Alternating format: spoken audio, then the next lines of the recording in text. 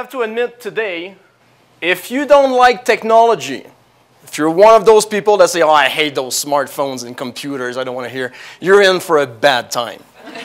okay? Because we're going to talk about not today's cutting edge technology, but tomorrow's cutting edge technology. And hopefully, I will turn your world upside down a little bit, make you think a lot. And if you come out of here with your head spinning, I've done my job. And if you think you came out of here understanding everything I'm talking about, you're wrong.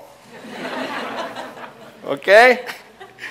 So first of all, I'd like to take, thank uh, William and the Collegiate Peaks uh, Forum series for inviting me. It's, it's really great. It was not really hard. They didn't have to twist my arm to come in Colorado and in the beautiful mountains. It's really a nice, really nice community, really gorgeous, gorgeous place. I'm a little bit jealous that I'm just staying for three days, but I guess I'll have to come back next. So, today we're going to talk about quantum technology. And I have taken that opportunity to actually do a brand new talk. So, which means that I'm going in cold. I have no idea how long it's going to take. So, in 20 minutes, we can be out of here, or we can still be talking around midnight. so, I'll try to keep it short, but you never know. I might go on a limb and then just start babbling by myself. You know, feel free to tell me to shut up, but uh, hopefully, I'll entertain you enough. So, before, what, me get started.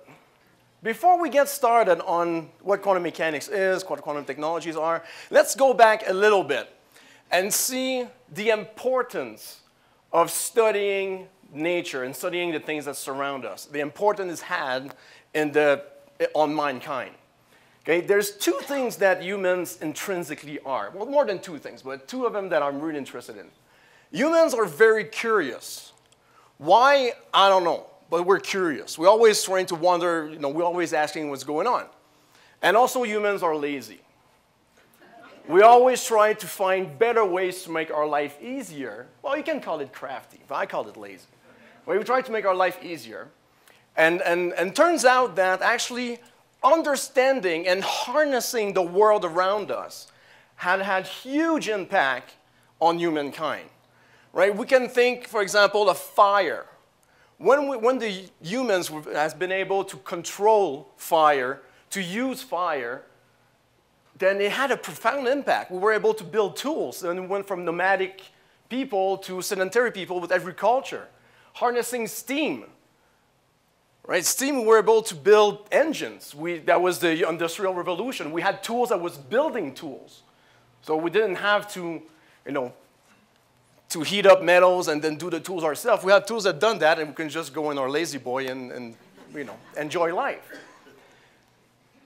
Electromagnetic, electromagnetism, light, right? Cell phones, satellite communication, completely changed the world. I can see that most of you here have seen a world where internet did not exist.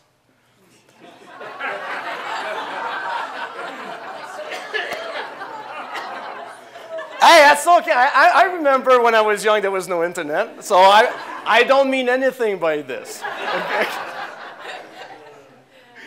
But we, we all seen how internet has changed everything in the past 15 years. So now we're on to one of the last phenomenon of nature that hasn't been quite harnessed yet, and that's quantum mechanics. If you know what quantum mechanics is, great. If you don't know, hold on a second, I'm going to, well, try to explain what it is. But this is essentially what quantum technologies are. We're trying to build technologies based on quantum mechanics. So before I start talking about quantum mechanics, I'm going to talk about classical physics, because I'm going to use that over and over, quantum versus classical. What we refer as classical physics is essentially the world that we experience. It's our everyday life. Those are the science that was given to us by Newton, Galileo, Maxwell, like how the planet goes around the solar system, how if I push my car, how it pushed back on me, how we put a man on the moon, and, and so on and so forth, like our everyday experience. This world is predictable. You give me enough information about it, I can predict exactly what's going to happen in the future. There's no uncertainty, there's nothing weird, it's very well understood, well behaved.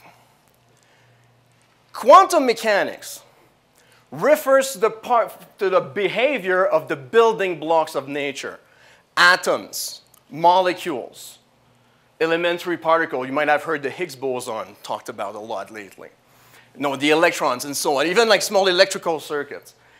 Turns out, if we try to explain how an atom behaves, how the electron hangs around the nuclei of an atom, using the laws of classical physics, it completely fail. Not fails a little bit, it flat out fails. It does not work. Actually, you can, that's an exercise we do in university. It's a back of the envelope calculation. What if the electron behaved you know, classically? Turns out the whole universe will collapse at about five nanoseconds. The universe has been around for a few more nanoseconds than this, right? It's been around for billions of years, so we know classical physics is not the real deal. So quantum mechanics is the rules that explain how atoms, molecules behave. And those rules are completely different than everything we experience in our everyday life. So I'm going to attempt to give the quickest introduction to quantum mechanics possible. First of all, one thing I have to say is after I'm done, I'm done at this slide or I'm done at my talk tonight, if you think that you can explain quantum mechanics using your experience, using plain language, you're wrong. quantum mechanics lives outside our experience. It's something that we cannot relate to. But it's something that we know it's true because we go in the lab, we do experiments, we measure it, and it's always right. Quantum mechanics is arguably the most precise theory ever devised by humans. Every attempt at proving it wrong failed. The Higgs boson experiment at CERN, $10 billion, and it succeeded. So that was a big effort, and yet again, quantum mechanics is right. I personally worked on an experiment for two years to disprove quantum mechanics, and I failed bad, which is a good thing because it proved that it, it, it works well. Okay, so, what are those phenomena that are new? Rule number one is what we call the superposition principle. In quantum mechanics, if you have a quantum system, a photon, particle of light, an electron, a nuclei, a molecule, an atom, I can put it in two, one of them, I can put it in two states that are contradictory. I can take a particle, one particle of light, and put it here and there simultaneously. Now, if you try to convince me that you can do that with your cat at home, I don't believe you. but there is such a thing as Schrodinger's cat.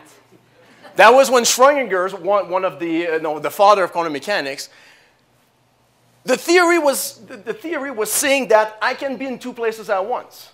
And he came and was like, well, then I can have my cat who's both dead and alive at the same time.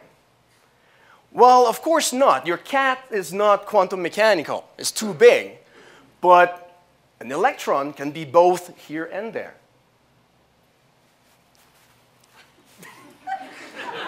take it, okay? That's, that's the way it is. Rule number two.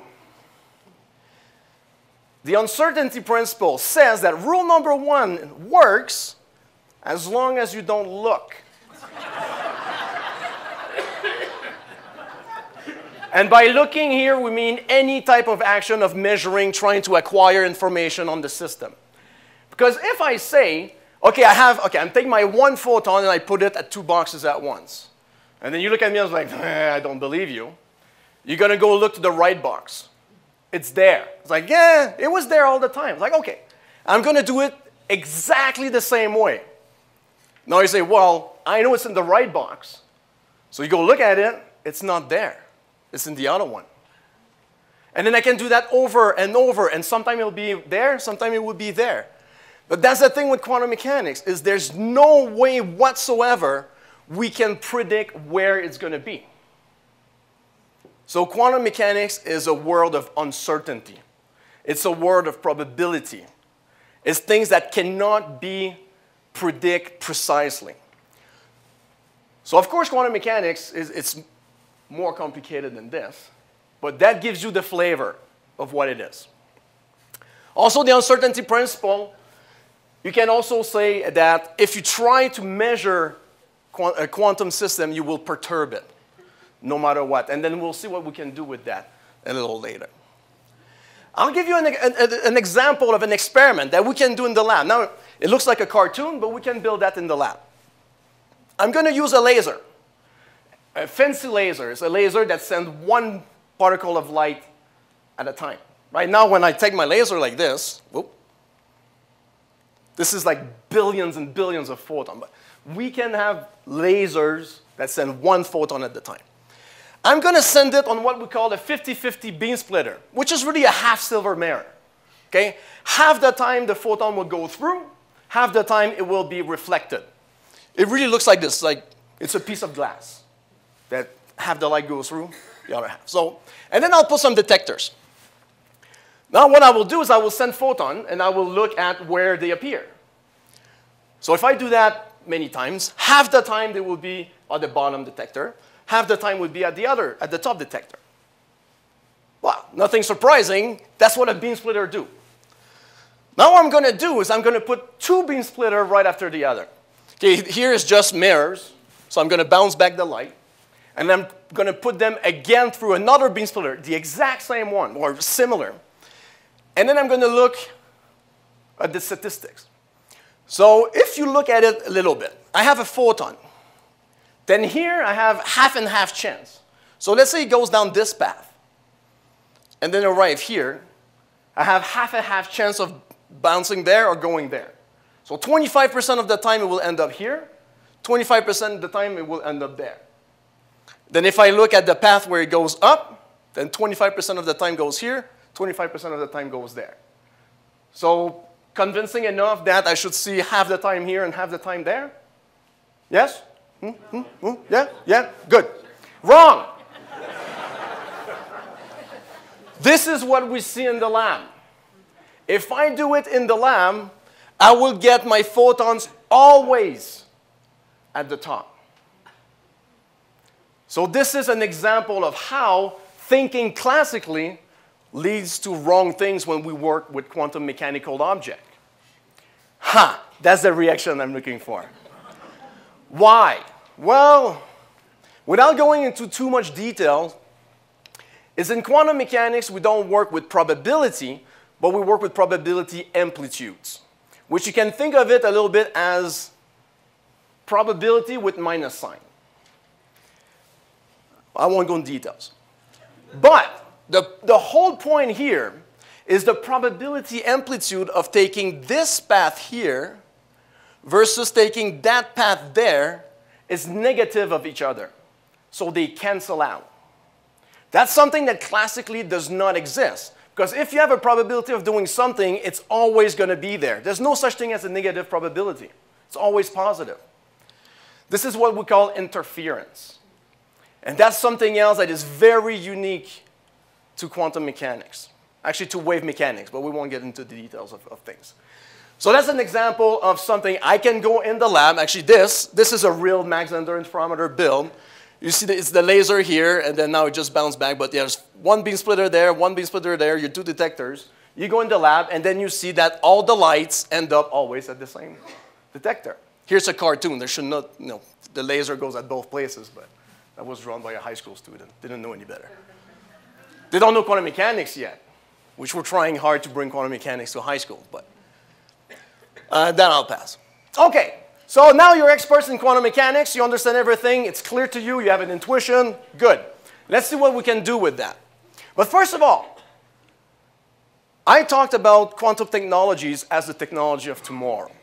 But uh, it's, it's, I was a bit overselling it. Quantum technology has been around us for 50 years or more.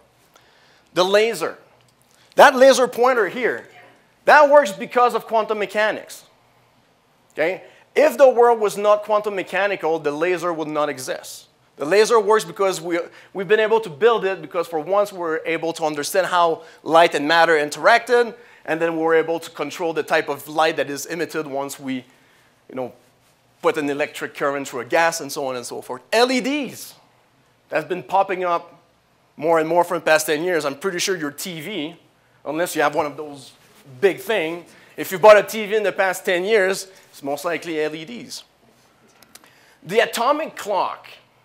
Atomic clock is purely quantum mechanical. Why do we care about atomic clock? My watch is pretty good. I've been relying on the atomic clock ever since I landed in Denver. GPS.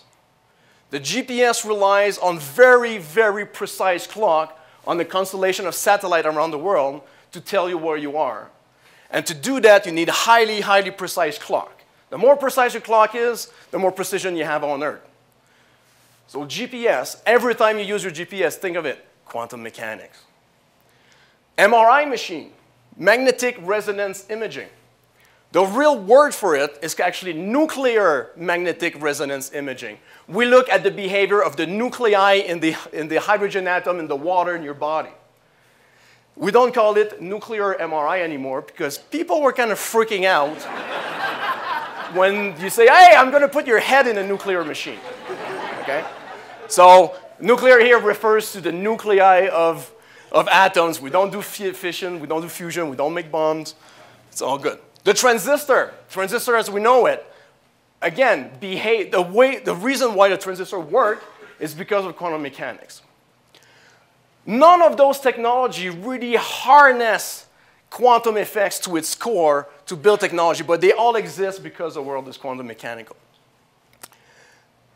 Now let me take a little step back. Another type of technology, actually pretty much the only type of technology we've been using today is these type of gadgets. Cell phone, computers, printer, camera, everything that we call digital. At their core, all those nice little gizmo, they do the same thing. They manipulate information. We call them digital because they're binary, on, off. Okay? Of course, the task they do is very different, but at their core, at their microchip, all they do is they have bits of zeros and ones, they flip them around, they, they push them around, and they do something with it. So the bit, all our technology is designed with bits, zeros or one, the simplest alphabet you can think of. We all speak English here, some of us a little less, but we all speak English. 26 letters. You don't need 26 letters to build an alphabet. You need two, zero and one. So the simplest thing. So that's what the bit is. Way back in the days, the bit was a vacuum tube. It was clunky, it was about this big. I wanted to bring mine, but I figured it might break in the plane, and I like mine, so I don't want to break it. The first computer was built with 17,000 of those things, and it was less powerful than your watch. It was called the ENIAC in 1947, maybe 46. And then they found a way, because a transistor really, the only thing it does, well, the vacuum tube here, it's a switch. Okay, it, it take an electrical current, and according to some control, it switched the, cur the current one way or the other way. Zero, one. And then your processor just deals with the zeros and ones. Then they found a way to do it in solid state, so we're using a piece of metal or a piece of material, so it was much smaller. And then using integrated circuit, which got even more no, much more small. And actually the transistor for the past 60 years, 70 years, have been reducing in size by a factor of two every 18 months or so. Think about it, a factor of two every 18 months for the past 60 years. This is the modern equivalent of building pyramids. This is an astonishing engineering feat. But look at that now, 22 nanometer. 22 nanometer to give you a, a perspective, take one of your hair, if you have some, slice it in a hundred thousand. That's 22 nanometer. Okay? The transistors that I have in my computer, they're this size. The first computer, like in the, uh, sorry, the first transistor was about the size of my thumb, my thumbnail. One transistor. Now the chip in my computer is about the size of my thumbnail. It has about 3 billion of those. It's pretty cool. 22 nanometer, that's also the size of about 300 atoms. What did I say when you start going to the atomic scale? The rules of physics are different. But also, what will happen? What if we're still able to build a transistor that is the size of one atom? Then what? Yeah, obviously. but no, but really like I say today, I say here's a computer made of transistors that are one atom's one, no, one atom thick. Will I be able to build something even smaller, more powerful? No, that's the end of the road. You're done.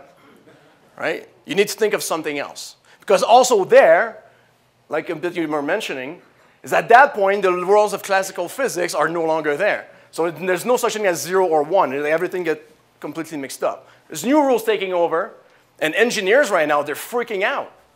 They don't know what to do with it. I mean, they kind of do. They find ways to, to fabricate things so that the quantum effects cancel out each other, but that's not going to last very long.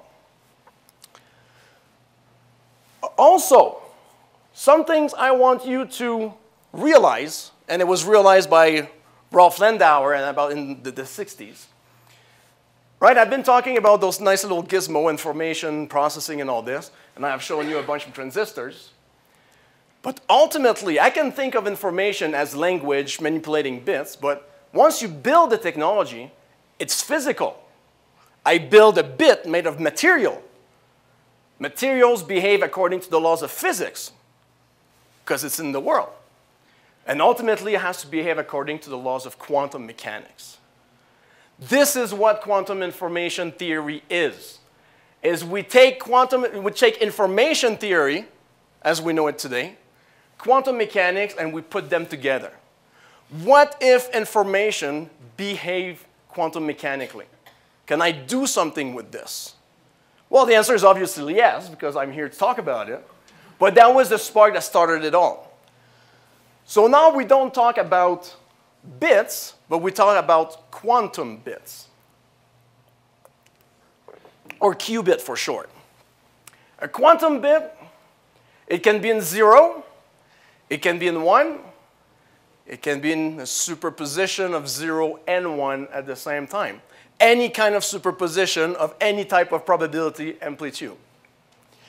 How do we build this? Well, you need a system that behaves quantum mechanically that you can control because you, need, you have to be able to harness it, that you can measure, and you want to be able to have a whole bunch of them together that they can process multiple qubits of information. My favorite one is spin. If you don't know what spin is, that's fine. It's not spin like this.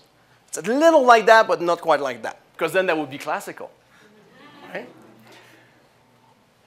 Every single elementary particle electron, proton, neutron, have a mass, they have a size, they have a charge, but they also have another property called spin, which is a little bit like their own magnetic moment. They're kind of a tiny bar magnet. So that's intrinsic. And that little bar magnet, when you put it in the magnetic field, it can point up or down. That's it. Unlike a magnet, a bar magnet that you can point in any direction, no A spin can only point in two, spin one half. If there's physicists in the room, I don't want to say things wrong. A spin one half can, can, can point in only two directions, up or down. What is quantum mechanical? So you can do a superposition of those. Do you have a question? No, I was going to. No. No, okay. Um, yeah, so, and, and, we can use spin, electron spin or nuclear spin. They're very well behaved, and we can use them to do quantum computation. Trapped ions. You have an ion. An ion is an atom that's missing a few electrons. You can use that as your qubit. Your electron is in a low energy state that we call ground state, or in an excited energy state, so higher energy, and you can manipulate that and put it in superposition. Actually, trapped ion is very, very hot in Colorado. A place called Boulder National Institute for Standard and Technology, there's a guy called Dave Wineland who won the Nobel Prize just last year. He's a top-notch guy in trapped ion. Superconducting qubit, those are actually, they're not atoms or molecule, but they're actually man-made electrical circuit, very small. They're, very, they're, they're you know, micrometer or nanometer small, but they're made of millions and millions of atoms, but yet we can make them behave quantum mechanically. We can make the electrical current around this loop go one way, or the other way, or both. One way is zero, the other way is one, both is a superposition. Quantum optics, the photon. I've been talking about the photon. Photons a great example of a quantum system. Trapped atom, quantum dot, so on and so forth. So right now there's about half a dozen serious candidate for a good quantum bit. Now what can we do with quantum bit? Well, there's many things, but we break it in, in, in three categories. There's the idea of quantum computing. So building a computer that works uniquely according to quantum mechanics that help us, well, do what a computer do, which is compute. People forget that. Okay? Computers are not good for Facebook and YouTube. Yeah, you can do that. But at the core, the only thing a computer do is compute. It solves mathematical problem, adds number, and then it turns it into a YouTube video or Angry Birds or whatever. We can use quantum mechanics for quantum communication to make ultra-secure communication unbreakable sec information security. We can also use quantum, uh, quantum bits to make classical communication more robust, more effective. We can build a quantum internet that's way down the road. Quantum sensors. I'm going to talk about that later. Also quantum materials, which are new type of material, new phases of material. This I'm not going to talk about because I'm not an expert. It's just go on Wikipedia. So, quantum computing. Before going into the details of quantum computing, let's me talk about traditional computing. This is the only computer, computer you ever need. I know it doesn't look much, right? This is called a Turing machine. In 1930 something, Alan Turing, a absolute genius of the 20th century, even before a computer existed, he was actually doing an, uh, an intellectual exercise saying, what if I can build a, compu a, computer, a machine that can compute? And then he went on to study what could be done and could not be done and so on and so forth. So he designed this machine. So actually, by the way, that until about three years ago when somebody actually built it, that was just a thought experiment. Okay, it was never been built because it's an absolute useless machine. but this is the Turing machine. It has an infinitely long tape. It has a pen. It can write zero, one. It can erase. The tape can go back and forth, and it can take commands, an algorithm. Okay? what he showed is every possible machine that would compute, anything that you can build in any possible way that can compute, can be simulated by this machine. So what he showed is if you can build a machine that solves a certain problem, this machine can do it too. So this is a universal computer, as we call it. Not only this, a little later with his friend Church, he showed that if a problem, if you can build a machine that solves a problem easily, I'm not going to explain what I mean by easily and hard. But easily means in no time, and hard means in a lot of time.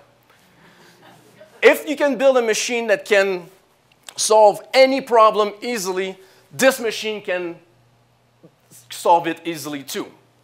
And if this machine is not able to solve a given problem easily, so a problem is hard on this machine, then there exists no computer who can, be, who can solve that problem easily. So this is a universal machine. Now it started looking like something else, but so what we call the Turing machine. The impact of this means that every single computer you ever know, own and will ever own is the same thing. That fancy laptop here and the abacus, same thing. This farm of computer, those supercomputers, and the abacus, same thing. The computer has not become more powerful. They, they have become faster, but not more powerful. And the distinction, the distinction is that Faster mean if I, sorry, if I needed, let's say, a billion operation to solve a, a given problem with the abacus, I still need a billion operation to solve it with my computer farm. It's just that those billion operation, I do them much faster. But it's not more, more powerful. So it means that if a problem is extremely hard on the abacus, it will be extremely hard on a supercomputer. But Richard Feynman, also arguably one of the greatest minds of the 20th century, he had an, an observation around 1982. Back when he was working at Los Alamos during the World War II, he was in charge of the theory division. So his job was to have a bunch of people trying to solve Schrodinger equation and trying to understand how you can do fission and build an atomic bomb. And well, it was wartime, so you had to do what you had to do. But he, so, but turns out quantum mechanics is insanely hard to simulate. We can simulate the hydrogen atom on a piece of paper. I can do it right on the board. The helium atom, which is just a couple more particles, becomes already very hard. The lithium atom, you probably have to give up already. So try to simulate plutonium, which is like 230 whatever. So he came up with a model. He says, what if I have a, a, uh, uh, no, a system that behave according to the laws of quantum mechanics, it appears that I would be able to simulate another quantum system easily. So he kind of thought of a, of a way to build a machine that would solve a very, very hard problem, but easily. So it turns out what happened is Alan Turing when he was looking at, his, at, at the, those computation machines, he forgot about quantum mechanics. He never thought about manipulating information using superposition principle and uncertainty principle. And Richard Feynman kind of laid down the foundation. It took another about 10, 15 years to actually have a proof that, yes, actually, if I build a computer that works according to the laws of quantum mechanics, I can build an exponentially faster computing machine. Sorry, exponentially more powerful machine. And let me give you a little sense of how it, how it comes to be. I'm not going to explain how a quantum computer works because then we're really going to be here until midnight. But I'm going to give you a little sense. So let's say I have one quantum bit. If I have one quantum bit, I can be in two states at once, 0 and 1, as opposed to a classical bit where you can only be in one state, 0 or 1, but just one at a time. So if I have two quantum bits, I can be in 0, 0, 0, 1, 1, 0, 1, 1 at the same time. Four, I need four numbers to explain that. Two classical bit, it's two numbers. If I have three quantum bits, I can be in 0, 0, 0, 0, 0, 1, 0, 1, 0. There's eight possibilities. If I go to four quantum bits, there's 16. 532, 64, 128, 256, 512, 1024, 248. This grows exponentially. With 10 quantum bits, I have the equivalent of about a 1,000 bits. That's a kilobyte computer. Some of us remember. if I have 20 quantum bits, just 20 molecules or photons that I can manipulate, that's the equivalent of a, a megabit computer. Oh, now we're back in the 80s. If I have 30, that's a gigabit. That's a computer I'm using right now. 40, that's a terabit computer. That's a supercomputer. With 50 quantum bits, it's a petabit. That's more computational power than all computers on Earth working together with only 50 quantum bit. Now, tell me that's not something worth looking into. Okay? But now here, word of warning, this is definitely not the whole story. It's an oversimplification. Things are more complex than this. But that gives you a sense of the exponential growth of things we can do. I'm going to push it, push it to the limit. Let's say I build a computer with three, about 300 and not even 250 quantum bit. That computer is potentially more powerful than if I was building a supercomputer made of all the atom in the universe. This is the potential of quantum computing. Now I'm going to mention again, is the quantum computer always more powerful? No. There are problems where the quantum computer does not give you anything. It's always as powerful, but not always more powerful.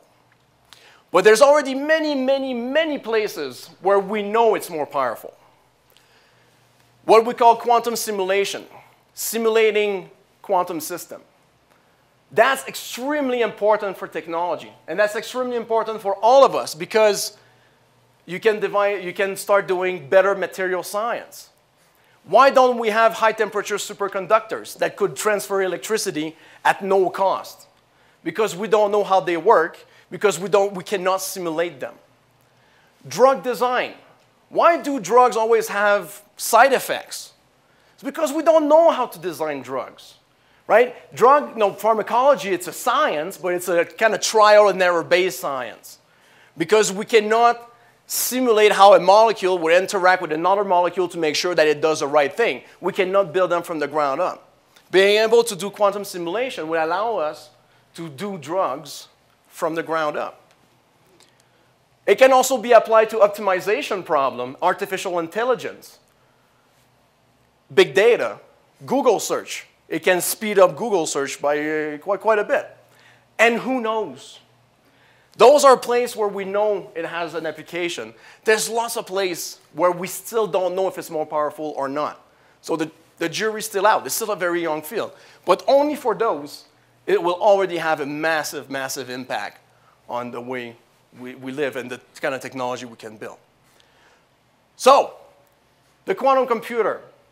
Before you ask the question, well, would I have a quantum computer on my desktop? I don't know. Not tomorrow not in five years. Okay? We have prototypes.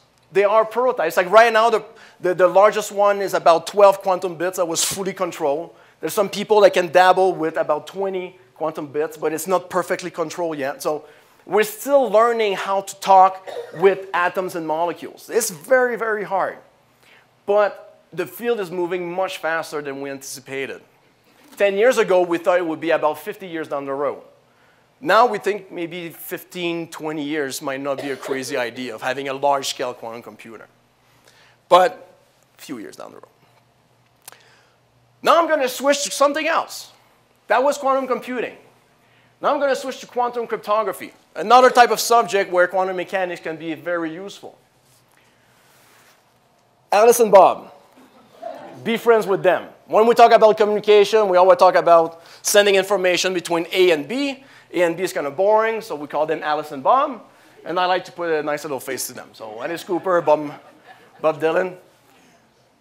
So what is quantum cryptography, or what is cryptography? Cryptography is the science of sending messages or keeping messages in an encrypted way so that an untrusted person cannot have access to the information. When you sign, log into your bank account, when you log into your Facebook, or when you want to hide messages from somebody.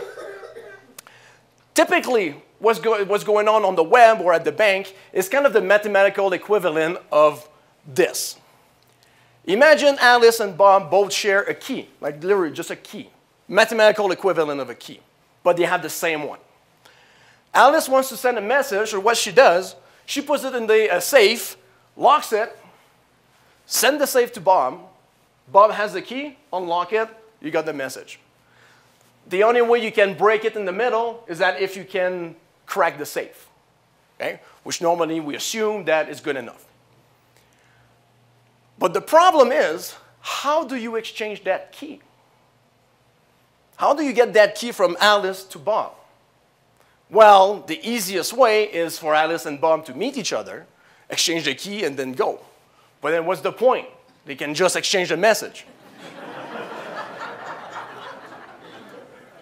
Then you can say, well, they can meet once and then exchange a thousand key, and then go and then decide on which key at what time. It's like, yeah, fair enough.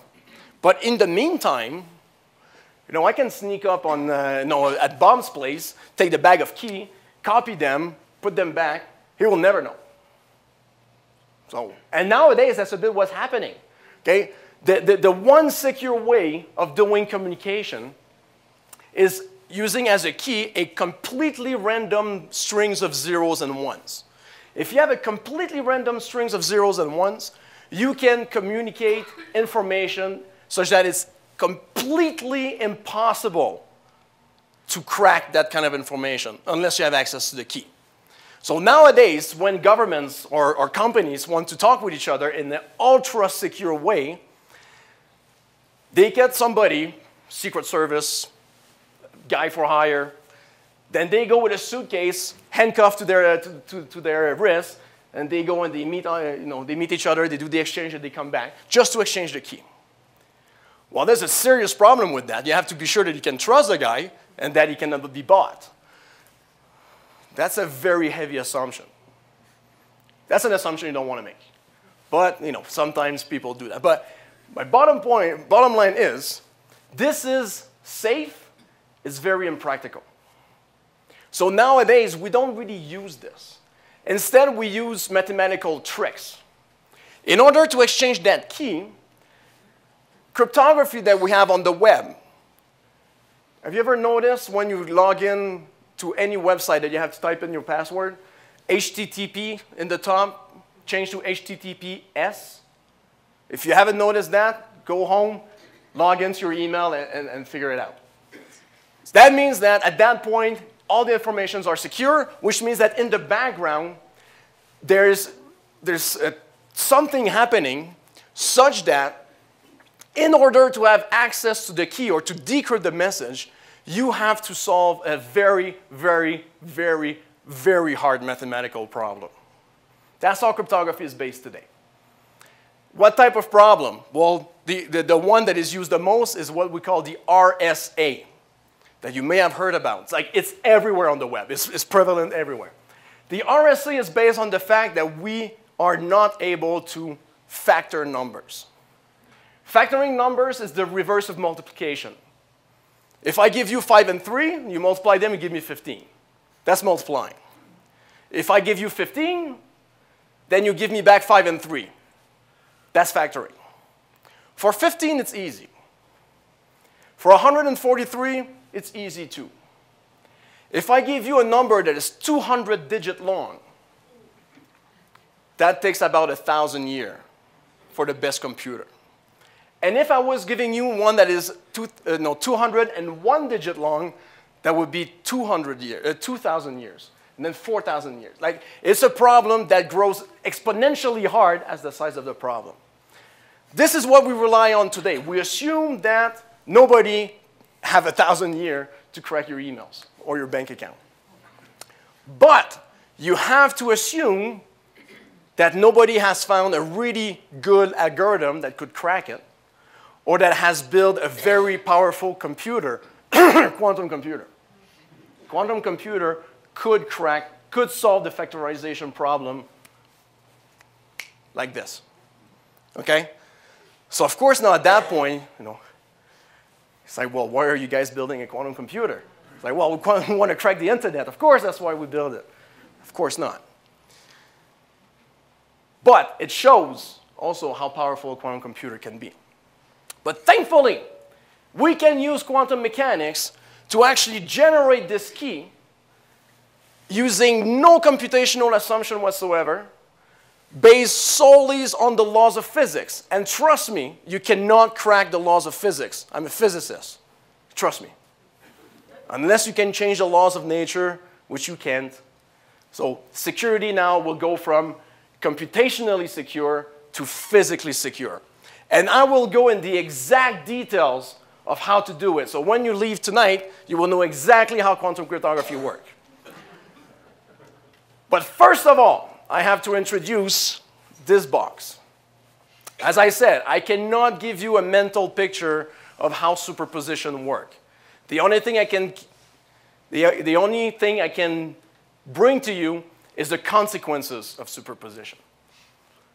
So this box is, is a special box, and it has rules. What I'm going to do is I'm going to pick up a 0 or a 1. So this is my bit. Okay? Again, remember, that key that we try to share is we're only trying to share something completely random, a strings of zeros and ones that are random. So, just for fun, I'll, I'll pick 0. Now, the way the box works is if I put my 0 using the first door, door number 1, and I take out the bit using the same door, I will always have the same bit. So if I look at the door that was put in, I always get the same bit. But if I will actually look at the second door, I would get a completely random bit. Why? Quantum mechanics. Now we'll have to go in the lab to explain, but that's essentially how quantum mechanics works. Similarly, if I take my zero and I put it in the second door, as long as I look at the second door, I'll see zero all the time. But if I look at the complementary door, I'll get something completely random. Sometimes zero, sometimes one. Do we understand the rule in the game? Do I need to go over it again? Okay? Bottom line, you, you open the same door it was put in, you get the, the right answer. You open the other door, you get something random. Now, that's what we're going to do. Alice will decide of a bit randomly, flip a coin, decide heads or tails, 0 1. And she will also decide randomly in which door she's going to put it in. So let's say for that one, she puts it in door number 1. She's going to send that to Bob. That's the quantum bit. And Bob, with, without ever talking to Alice, he will choose on this side randomly which door is going to look at. If he chooses the correct door, great, he's got the right bit. If he chooses the wrong door, he doesn't. Well, he will get something random.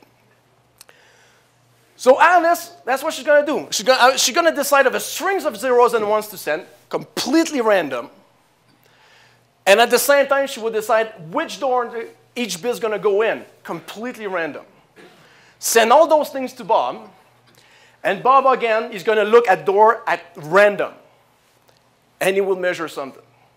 Okay, here the color, just so you follow, the number is the bit, the color is in which door is gone in. Now let's analyze each bit. For the first bit, Alice put it in door number one, but Bob opened door number two. So at that point, Alice and Bob will not necessarily have the same thing. So what they do is at that point, they pick up the phone, or they talk over the internet, they don't say what they measured and what they sent. They just say how they sent it. Alice will say, I put it, I don't tell you what, but I put it in the door number one. And Bob says, well, I measured no, door number two. Okay, let's discard it. So they toss it in the garbage. Then they're going to do that for the next one. Well, Alice says, I put it in door number one. Bob said, I, I looked at door number one. Then let's keep it. And they're going to do that over, over and over again for all of those. Now, if you notice, at that point, they have the exact same key. Wow, well, that's nothing. You haven't seen anything. Whoa. now it's easy. There was, no, there was no bad guy in the middle. So they could just have picked up the phone. Now we have to consider Eve, the eavesdropper. By the way, this is real language. We really use those names in actual scientific literature.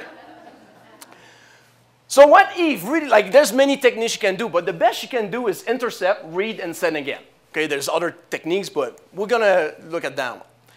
So again, Alice sent it in door number one. So from now on, we're just gonna consider when Alice and Bob read at this, in, you know, open the same door, because all the other one, they'd be tossed out.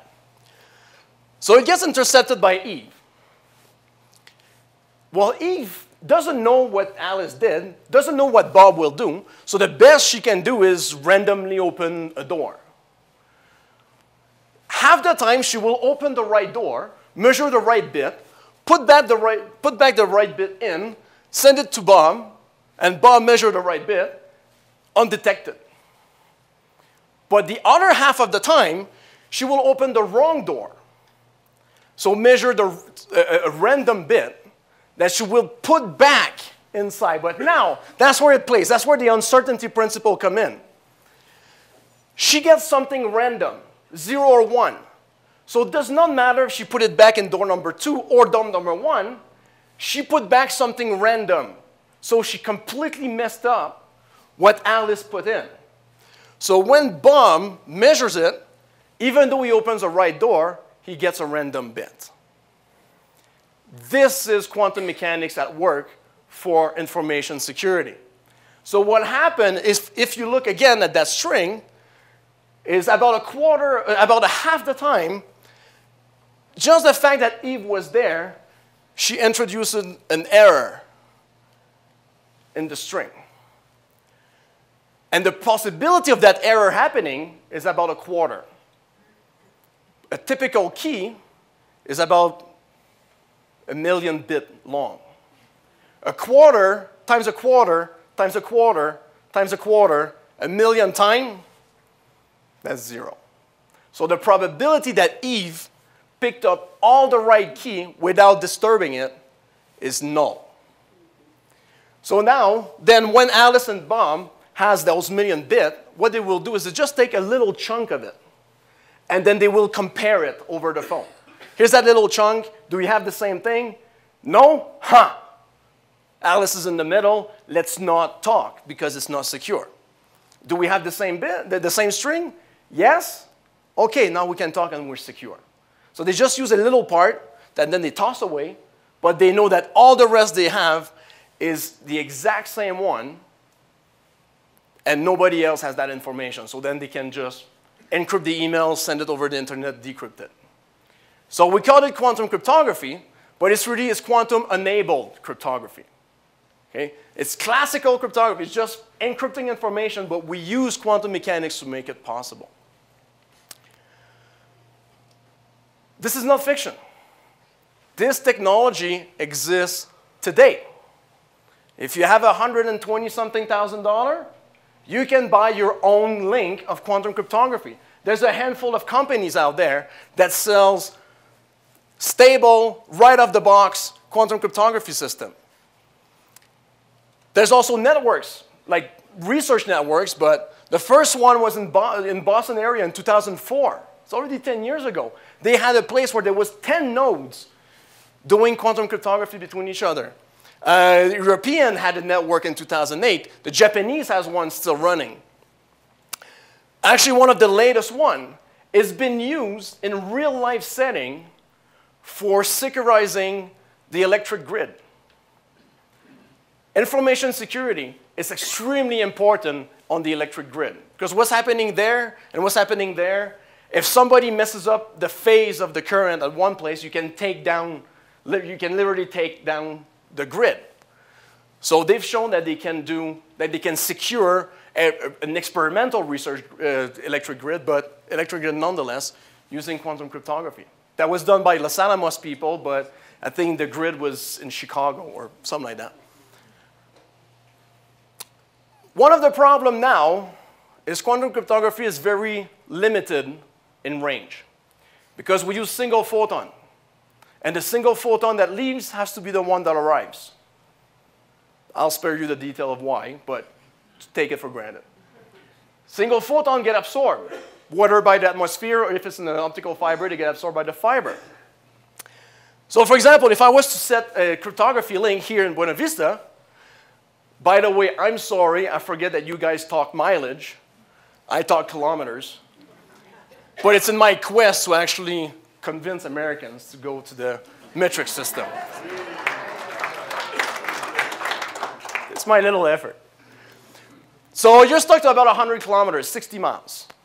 If you're really, really, really good, you can go to about 90 miles. But what if, if no, so you can go to Denver, it's great. But what if you want to talk with New York or, or China or Australia? Well, there's different models. Another way that we take at the University of Waterloo uh, at IQC, but it's done also by some group in the United States, some people in, in, uh, in England, Europe, the Europeans have also a project, the Chinese has a project, is to go global distances using satellites.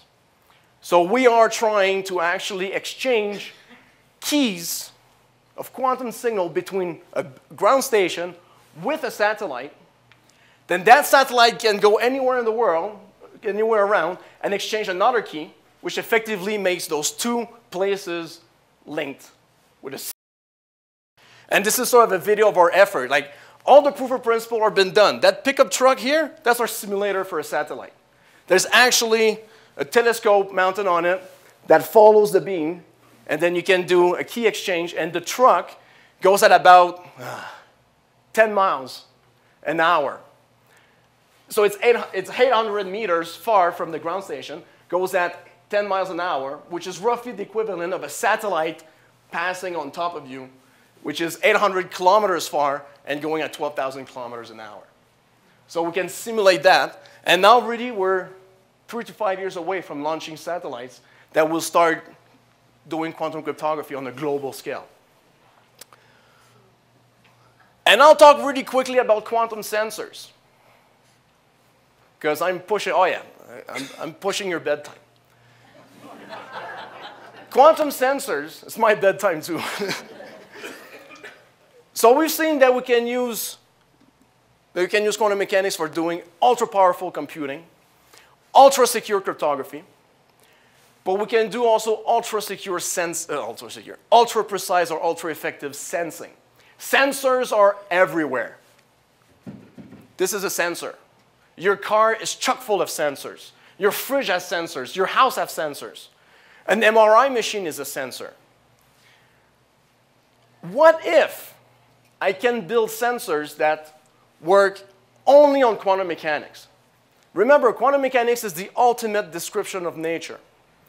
So that means that I will be able to do sensors that, are, that have the greatest precision or the greatest sensitivity, the greatest selectivity, the greatest efficiency, or the greatest robustness allow by nature. So that's the promise of it. Some example, magnetic sensing. Sensing magnetic field is very, very nice, especially in biochemistry, or in chemistry, or in material science. Because looking at something just gives you one information, is the shape. When you're trying to look how things behave to build better and better technologies, better and better sensor, you want to know how they behave, but also how they interact with the environment. How the electric field and the electric field um, you know, behave. I'll give you an example of what we can do. Here you see 10 spin, but it's not 10 spin, it's 5 spins. And I can take my 5 spin, 5, five electrons or, or 5 atoms, put them all pointing up and all pointing down at the same time. That's called quantum entanglement. Now I'll grab one of those and I'll go in the next room or figure of speech, I'll go somewhere else and make it interact with a, a, very small magnetic field. So because I have one particle, I can bring it very, very, very close to, I don't know, a cell, another atom, or whatever, and it's going to interact. Then I bring it back to my five other ones. Now you see here is like they're all up or they are all down. When I make it interact with my other thing that I'm trying to sense, it's going to effectively measure if it's up or down. So if it measures that this guy here is pointing up, then automatically it means that all of mine are pointing up. If it points down, then all of mine are pointing down. So it's a way to amplify the signal of one atom to a whole bunch of other atoms. And what, allow, what that allows me to do is allows me to sense very, very, very weak signal. Here an example. If I just use, I won't go into the detail, but the important thing is the difference between the low and the high. That tells me how much I can read. If I use one spin, I can read that much. Five spin, much better. 10 spin, much, much better. Okay? But still, at the end of the day, I only use one spin, one tiny detector, brought it somewhere to measure, bring it back, and I amplify the signal. That's something you cannot do classically. So that's an example. What can you do with this? And it goes on. You can do things like magnetic resonance force microscopy. Have you ever seen those nice images like of electron microscope, of tiny, tiny little thing, and they say, oh, this is like 100 nanometers big. This is great. That doesn't tell us anything. It just tells us how pretty it looks. Doesn't tell us how it behaves. When we build a transistor, who cares what the transistor looks like? We just want to make sure that it works like it's supposed to work.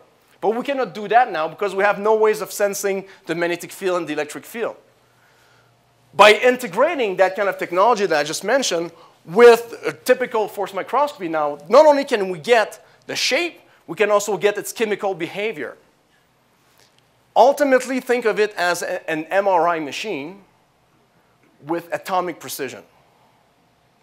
We're not quite there yet. But that little thing here can sense things that are about 10 atoms thick, 10 atoms big. So we're almost there. Yes? Could you sense another atom spin? Yes, we can. It's very, very hard, but you can in certain setting. You can measure a single electron spin, but not a single nuclei spin, because the nuclei is about a thousand times weaker. But this is actually, if you can figure it out, it's probably a Nobel Prize right there. It's a very, very important, pro, uh, it's a very important thing that we still haven't, go for it, man. Other things we can do. We can make quantum tops. A spin behave a little bit like a top. If I have seven of them, I can make it spin like one that's just spins seven times faster. So I can make faster clock by not really doing anything more, just by manipulating their quantum state. Another example we can do is we can use techniques that we developed in quantum information to deal with errors to apply that to completely different type of technology like neutron interferometry.